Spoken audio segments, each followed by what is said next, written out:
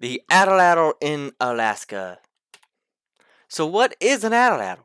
An atlatl is a device used to aid in the throwing of a dart or spear. They are also called spear throwers and throwing board. The spear that is thrown is not really a spear, it's more of a dart, so that's the term that I'm going to use throughout the rest of this presentation. A brief history of the atlatl. The atlatl is one of the first weapons humanity ever invented and was used all around the world during the last ice age. It's been used for over 20,000 years. However, at the end of the last ice age, many, many groups stopped using the atlatl in favor of a bow. In the north, the atlatl continued to be used and improved upon in a couple ways. Uh, we think it's been continued to be used in the north because it's easier to use from a kayak-like boat.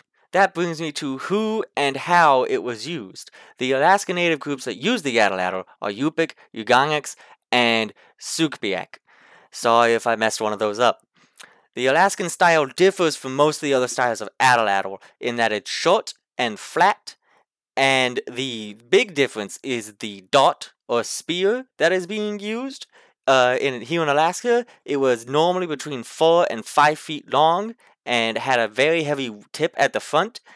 Most other places and throughout history, the spears and darts were between six and eight feet long. Think that the spear was shorter here because, well, it's being used from a kayak and you had to store more of them on a kayak. The main use here in Alaska was hunting seals from a kayak. However, our book does mention spearing caribou in the Yupik section. Just thought I'd mention it. So, how is it used by Alaskan natives today? Well, it's mostly used in a traditional sense. Many, many people use guns in favor of the atlatl now. Those who still use the atlatl claim that when you hit a seal with an atlatl, it's less likely to sink into the water after it dies than if you shoot it. Uh, nowadays, it is no longer used from a sitting position, it's used from a standing position at the bow of a boat. Now, I would like to play a video of a native song and dance from the Yupik people. It is the story and song of seal hunting. First, it shows the seal out on the ice. Then it shows the hunters paddling up.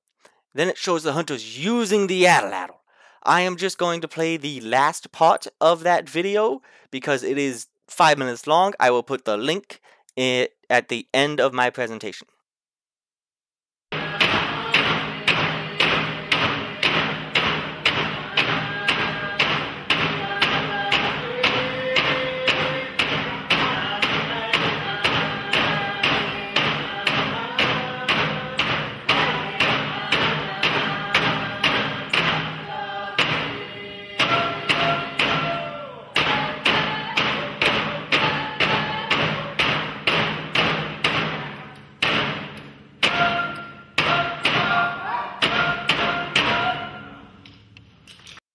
So, this is how I made the traditional style. There are many, many ways to make the traditional style. I was just using the tools that I had. So, the first thing I did was I went and I found some wood in my yard. I was just pulling it out of the woods and then flopping it on the ground.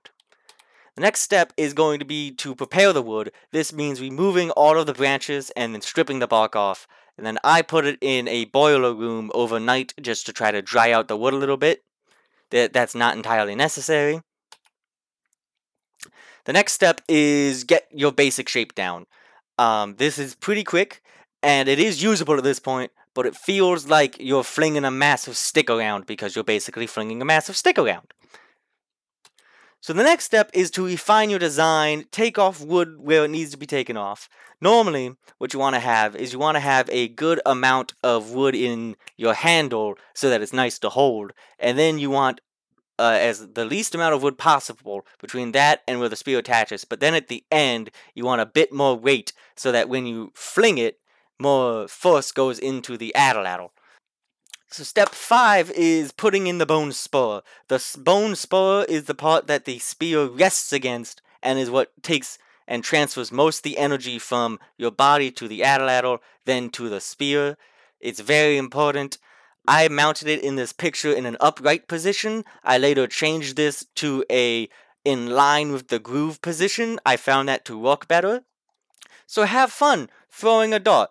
The dot in this picture is just one of the sticks that I showed earlier. I just put duct tape fletchings on it, and I didn't put a point on it, and it was flying okay.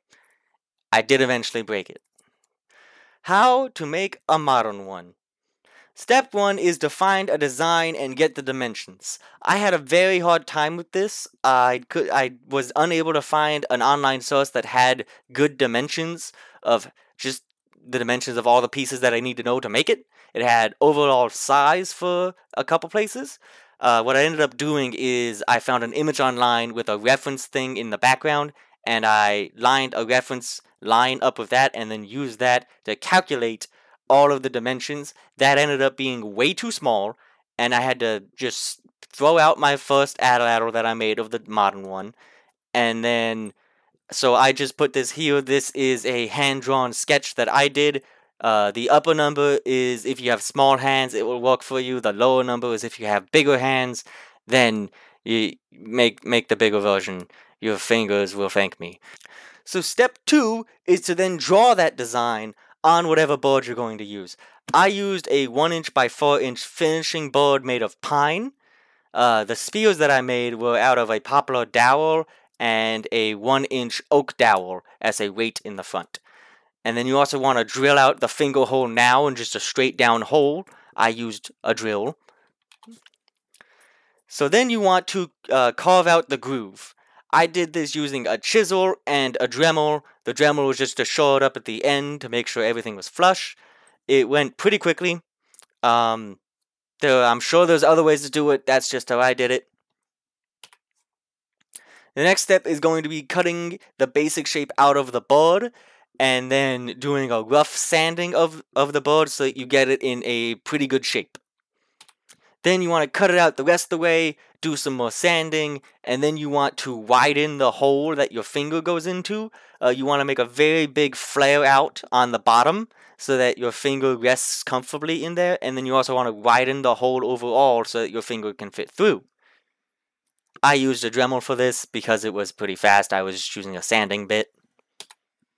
So now the next step is optional. You can stain it or finish it, or you can just leave it as raw wood, and you can just move on to the next step. So this next step is the final step. Once again, you it is installing the bone spur. The bone spur is the part that transfers to the spear. It's very important. I later went back and reshaped this so that it had a slight curve to it so that it released the spear evenly instead of flipping it down and hitting uh, the top of the spear. It's very important that this is done correctly, otherwise the spear will not fly correctly.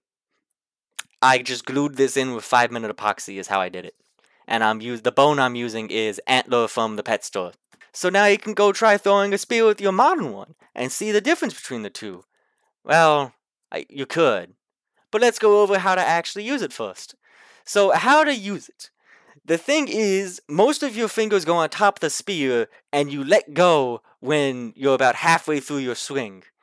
This causes a problem of maybe letting go of the atlatl and throwing it off into the distance. One of my friends did that with mine. Um, what I say is before you bring out a spear, just try flinging it a few times. You want to try to pinch it between your index finger and your thumb. There's a thumb groove that's made into it also. You can see that in the top picture and just try holding it and flinging it around without actually throwing it like shown in the left picture. So how you want to use the atlatl is you want to transfer all your weight to one foot and then you want to just twist your body slightly while going forward and then release the dot. As I mentioned before, the main use here in Alaska was from a kayak in a, legs forward in front of you position and then just throwing while sitting. So to do that, you just want to twist your body slightly and then release with the wrist just by flicking it. As shown here. Now I'd like to share some art that includes atlatls and spears that my family has collected at different craft shows since we've lived here in Alaska. The first is this.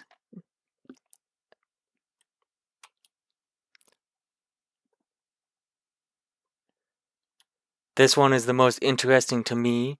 Uh, you can see a very slightly carved atlatl before the harpoon that they were using. It's very small, but it's still there.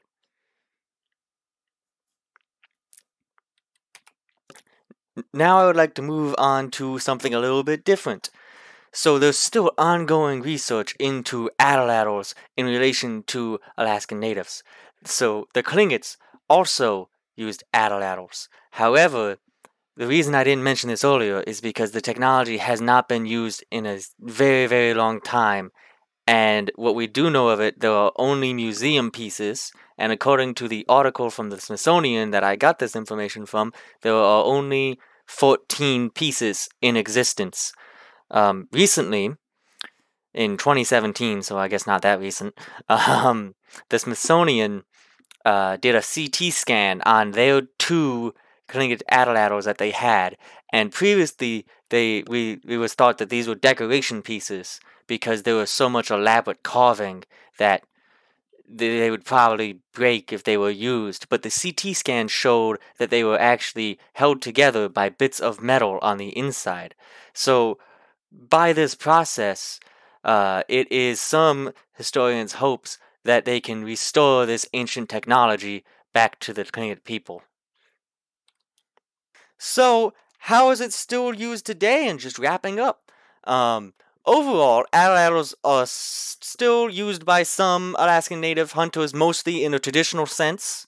Um, the majority have switched to using guns, so it's not super popular anymore for hunting. But it is gaining popularity and has been for a while now as a recreational and competition skill. Uh, back in 85, the Worldwide Atlatl Competition Foundation was formed in Europe, and it's just been growing in popularity since then. Uh, the Alaska Native Heritage Center holds an Atlatl competition each year. I don't think they did it this year because of coronavirus. Uh, the picture to the left is of the 2017 competition. So if you have an interest in woodworking and this looks like fun, I highly recommend it. It's pretty easy to do. It has a good amount of room for error and you have a fun product in the end that you can go do competitions with or just throw in your yard like I'm doing. Now I'd like to share the rest of that video that I didn't play in the middle. It was just a bit too long. So here's the entire video in one go. Oh, yeah.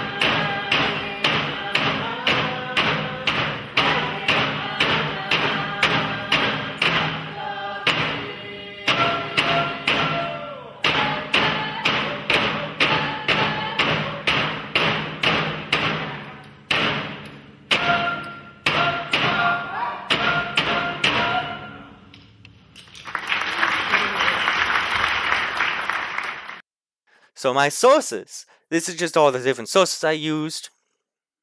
You know, you gotta you gotta include this in all the presentations.